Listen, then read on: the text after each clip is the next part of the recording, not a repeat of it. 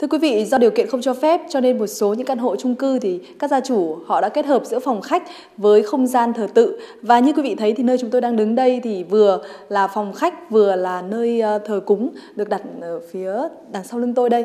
À, thế thì ờ, chuyên gia có đánh giá như thế nào về cái cách sắp xếp của gia chủ ở đây? Như chúng ta quan sát thấy rằng là cái mặt bằng phòng khách này thì có kết hợp không gian thờ tự. Tính theo tuổi của gia chủ thì gia chủ sinh năm 1973 có cung phi là cung à, ly à, và ban thờ thì nhìn về phía hướng nam của à, căn hộ chung cư về hướng là đã hợp lý chỉ có một vấn đề là tại cái vị trí của ban thờ đặt thì khi cái hướng nhìn về phía mặt trước của căn hộ chung cư thì cũng là thoáng sạch không phải là nhìn vào phòng ngủ cũng không phải nhìn vào phòng bếp và cũng không phải là nhìn vào những khu vực ô uế thì là rất hợp lý.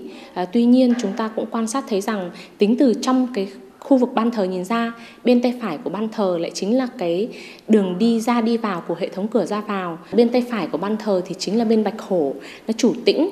À, khi mà đi ra đi vào bên tay phải của bên ban thờ và đi từ phía sau thì sẽ làm cho ban thờ trong phong thủy gọi là bị động bạch hổ thì chúng ta chỉ cần xử lý rất đơn giản. Chúng ta sẽ treo à, rèm hạt gỗ ở tay phải của ban thờ để tăng tính chủ động cho à, ban thờ và giúp cho cái phía bên phải của ban thờ được tĩnh tại hơn quan sát ờ, tiếp ở phía dưới của ban thờ, chúng ta thấy rằng là gia đình có để ờ, tivi ngay thẳng dưới ban thờ.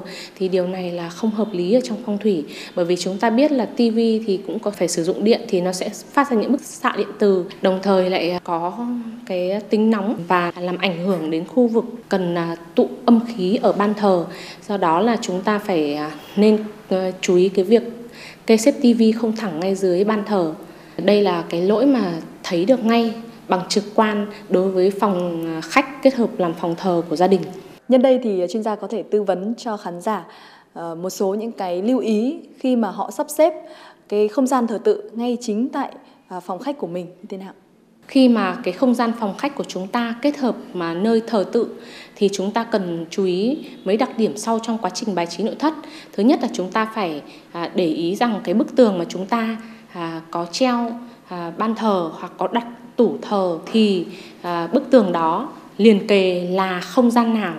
Kể cả là không gian của hàng xóm, căn hộ liền kề cũng cần phải chú ý. Các không gian tiếp giáp có thể là các không gian nào để chúng ta bài trí hợp lý. Không bao giờ được kê chung bức tường của nơi đặt ban thờ mà lại tựa lưng vào đầu giường ngủ của phòng ngủ trong căn hộ.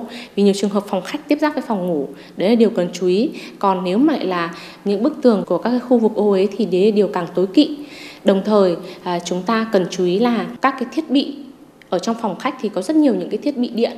À, ví dụ như là cây điều hòa máy điều hòa tivi là chúng ta cần phải có khoảng cách nhất định đối với khu vực thờ cúng. Hoặc một số gia đình thì có treo quạt trần mà quạt trần lại quá gần khu vực thờ cúng dẫn đến là mỗi khi bật quạt trần lên là làm ảnh hưởng đến ban thờ thì cũng cần tránh.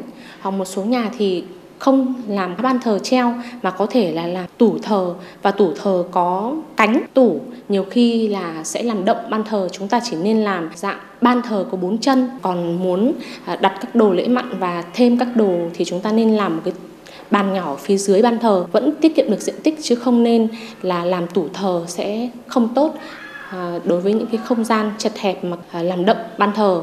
Tiếp nữa là chúng ta cũng cần chú ý là trong cái phòng khách thì chúng ta hay muốn làm rộng phòng khách lên thì chúng ta có sử dụng các cái thiết bị như gương.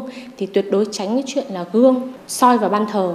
Bởi vì như thế người ta gọi là hiện tượng bị kim quang sát, rất tối kỵ trong phong thủy và gương cũng tránh chiếu ra ngoài cửa, ra vào của phòng khách. Vì như thế sẽ làm mà mất đi những cái dòng sinh khí có thể à, dẫn đón vào cửa ra vào của phòng khách. Đấy là một số những cái điều cần lưu ý đối với không gian phòng khách với nơi thờ tự. Cảm ơn chuyên gia phong thủy Nguyễn Song Hà đã giúp đỡ chúng tôi thực hiện chương trình ngày hôm nay.